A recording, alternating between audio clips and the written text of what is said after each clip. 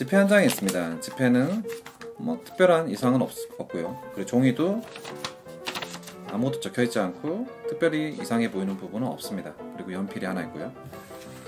자, 이 종이에다가 지폐를 제가 이렇게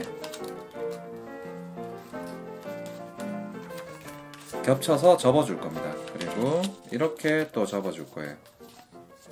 그럼 지폐와 이제 종이가 지금 같이 겹쳐져 있는 상태죠.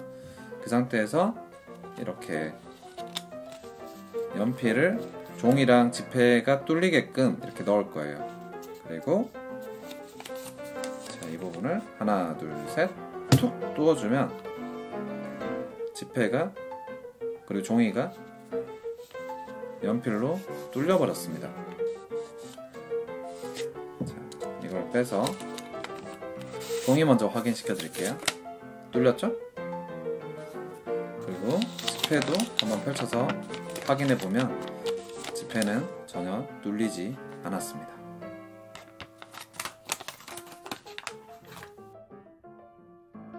이렇게 세 가지 준비물이 필요합니다. 지폐를 먼저 밑에 놔두고 종이를 위로 이렇게 올려줍니다. 지폐를 이렇게 접어서 이런 모양을 만듭니다. 그러면 반대편은 이렇게 되어 있고요. 이쪽은 이렇게 이제 연필보다 조금 더 넓은 간격, 간격으로 벌어지게끔 하셔야 됩니다. 이게 너무 이렇게 붙어 있게 되면 지폐가 끝부분이 이제 찢어질 수도 있거든요. 그 상태에서 이렇게 절반을 접어줍니다. 이런 모양이 되겠죠? 연필로 지폐를 뚫을 거다라고 말하면서 관객들은 이렇게 뚫는다라고 생각을 합니다. 실제로는 여기로 집어넣거나 여기로 집어넣는 거죠. 종이 벽을 타고 내려가면서 이렇게 지폐가 뚫리지 않게끔 넣어버리는 겁니다. 하지만 바깥쪽에서 봤을 때는 지폐가 뚫릴 수밖에 없는 느낌으로 되어 있죠. 원래는 관객한테 손바닥으로 연필을 툭 쳐달라고 합니다. 관객이 없기 때문에 제가 그냥 바닥을 향해서 툭 쳐줄게요. 그럼 이렇게 뚫렸죠?